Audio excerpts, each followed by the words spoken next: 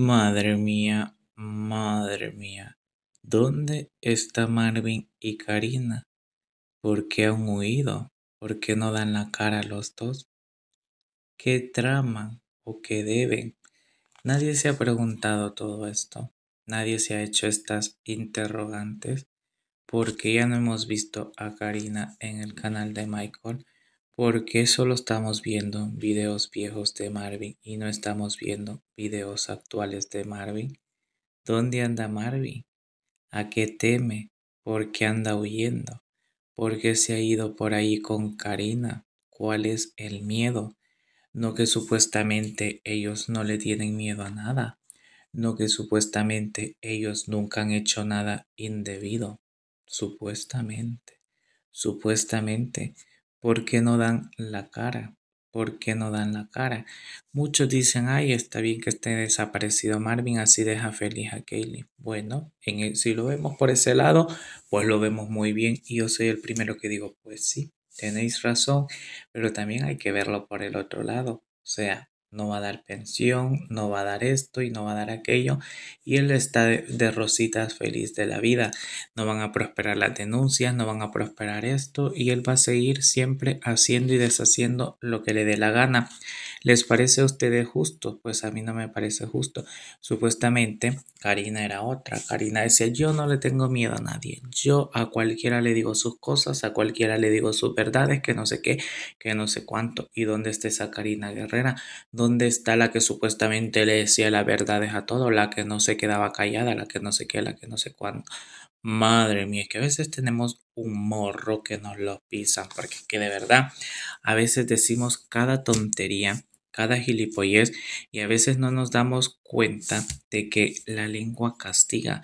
Marvin, que se cree el intocable, que se cree que las autoridades no le pueden hacer nada, que se cree que él dándole dinerito bajo de agua, los policías no le van a decir nada, no van a hacer esto y no van a hacer aquello. Supuestamente pero también lo hemos visto que se ha ocurrido, que Marvin ha soltado dinero y las autoridades, o sea, los policías no le han hecho nada, no ha pasado nada, todo ha quedado en una anécdota y, es triste ver esta perspectiva, porque a mí me escribió una persona y me decía, mire, joven Mario, yo soy abogada, tengo pruebas, quiero hacer esto, quiero hacer lo otro. Yo le dije, mira, está bien, está bien, no pasa nada, se puede hacer, pero ya te digo yo que con la corrupción que hay allí, conviene mejor que se haga desde la capital. Pero te digo una cosa, es que si lo haces desde lejos y no tienes nadie que esté allí meneando, como digo yo, eso, eso va a quedar archivado. Y yo lo he dicho siempre, lo he dicho siempre, por eso es que yo no voy a hacer un video, voy a decir, yo voy a denunciar a Marvin, porque sé, como las personas que dicen, ay, no, yo le puse una denuncia, no sé qué, a Kaylee con APGN desde el extranjero, bueno, la pusiste, la puedes haber puesto. Pero otra cosa es que esa denuncia haya servido o te la hayan tomado en cuenta a mí mi amiga que está aquí, que es de Guatemala, que es paisana de Kaylee, me dijo que el 90% de las denuncias que ponen desde el extranjero van al contenedor, o sea, ni las toman en cuenta. La PGN actúa cuando se va a hacer una denuncia de forma formal de forma formal y presencial. ¿Por qué? Porque así tiene más sentido porque así tiene más sentido y así te toman en cuenta y así como dicen por ahí no menosprecian tu denuncia.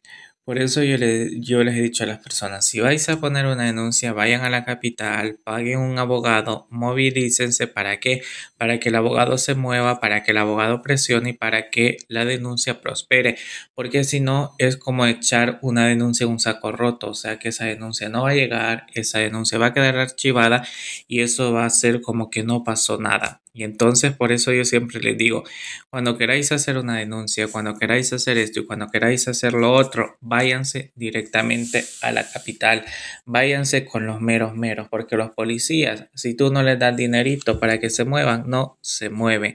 Te toman la denuncia, te la toman, pero te dicen, ¿y para las aguas? ¿Qué nos va a dar para las aguas? Imagínense como dicen, claro, Por eso a Marvin y a Karina les da igual hacer y deshacer, porque como le dan a los policías para las aguas, entonces ahí los policías ya no dicen nada, ya se quedan calladitos, ya no pasa nada, que no sé qué, que no sé cuánto.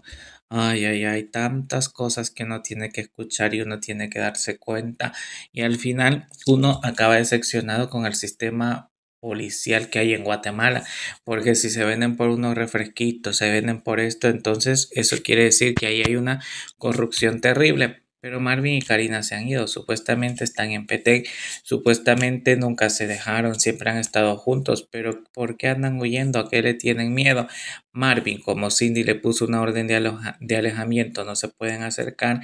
Karina, como supuestamente Luis también ha denunciado con la PGN, que andan en un enredo, andan en un enredo y no quieren dar la cara, no que eran tan valientes y andan como cobardes ahí escondiéndose.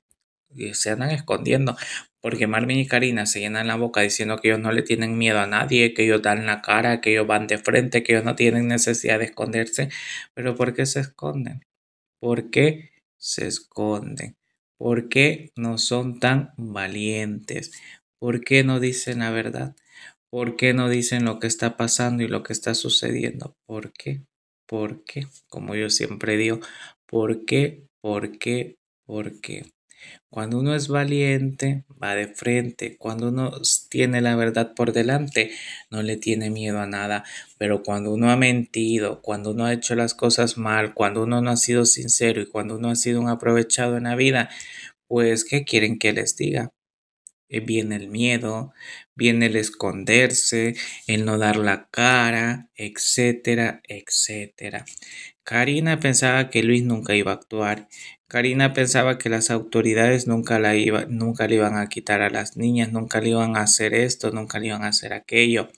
Y Marvin también siempre se ha creído el intocable, que nunca le iban a hacer nada, porque lo defienden los poderosos y porque él siempre cargaba dinero en el bolsillo para darle para las aguas a los policías. Pero todo tiene su, todo, no todo siempre va a salir bien.